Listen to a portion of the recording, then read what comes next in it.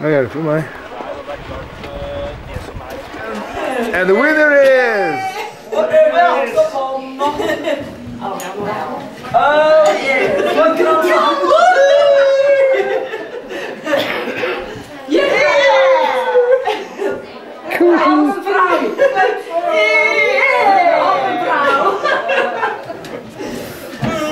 Så har vi det. Jeg prøver. Jeg var ikke fornøyd med nummer to, da. Er det litt? Nei. Jeg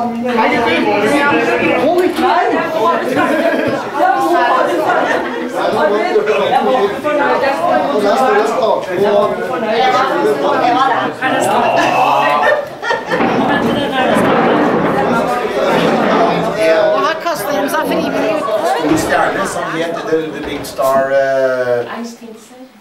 Ernst Hinterseer. Det er Roland. Ernst. Ernst kunne ikke komme, men Roland, han har vært nede her. Roland, you've been skiing down here. Yeah. Ok, mine damer og herrer, gi en stor applaus til Roland!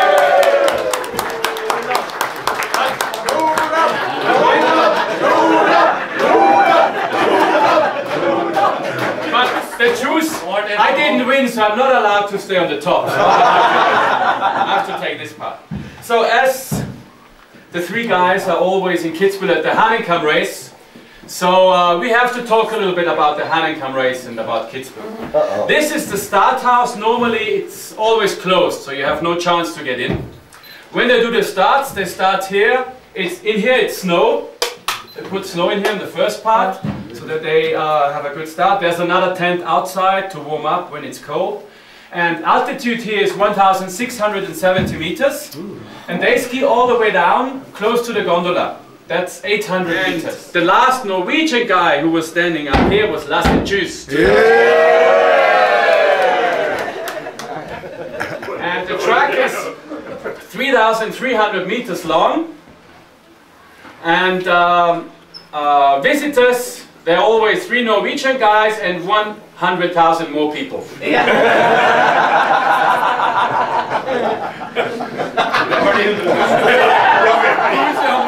Hvor is the 100,000? So the whole weekend it's very busy, but as the others know, because they're not only here only for the race, they're also here for skiing. And And drinking. they are good skiers. Sometimes.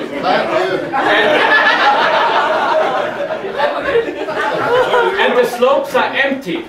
You know, everybody at the bottom, they are having parties and everything, and uh, and so it, it's difficult to get rooms and, and hotel rooms in, in Kitzbühel. So there are no normal skiers here. So when you come up, it's empty and perfect, perfect skiing. Why Kitzbühel became so famous? It was 1892, and a guy from Kitzbühel, he was the first one who was walking up with skis in the Kitzbühel area. And the reason why, he read a book from a Norwegian guy. From Fridtjof Nansen. Yeah. So and he, he was so interested in it, so he brought the first skis and he was the pioneer here in Kitzbühel. It was Franz Reisch, and this started in 1892. And uh, the first race we had already in 1888. Little race for skiing, more jumping and these things. And in 1927 we had already the first gondola. The first gondola in Austria was here. And that's why we had in the 50s and 60s, we had the most famous skiers of the world in, in, in Kitzbühel. There, you can see them in the back. There is uh, Anderl Molterer, Toni Sailer, of course, the most famous one. But Anderl Molterer is the one who won 13 times the Hahnenkamm race. With combination, won the slalom, won the downhill. So he is the most successful winner here in, in Kitzbühel. So and there's of course one more hour more to talk, but we enjoy the sun outside. So I explain you something new, a new invention. Maybe you don't know it. It's a kind of, kind of ball. So Ja, det er mye fint i plass nå. So we need somebody who shows us how to do it. So the closest is Teresa, she shows us how to sit on it. It's easy. Uh, yeah, yeah, yeah, yeah, yeah, yeah.